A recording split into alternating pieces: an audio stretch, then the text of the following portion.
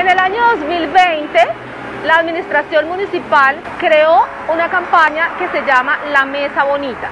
Esta campaña consistía en embellecer diferentes sitios atractivos del municipio, pero también vimos la necesidad de que había que embellecer en general el municipio.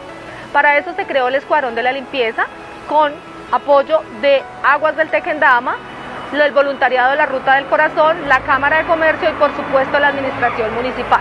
El día de hoy el Escuadrón de la Limpieza se encuentra presente en la calle Octava, la carrera 20, la carrera 21 con el fin de embellecer nuestro municipio. Estamos haciendo una gran jornada con más de 60 personas comprometidas en el embellecimiento de la mesa. Invitamos a todos los habitantes del municipio a ser parte del Escuadrón de la Limpieza, a limpiar el frente de su casa, a las personas que tienen mascotas a recoger el excremento del perrito y de llevarlo a una caneca de la basura o llevarlo a su casa.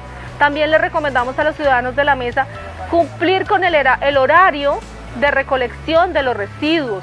Debemos apoyar a la empresa puesto que no tiene suficiente personal para hacer la recolección.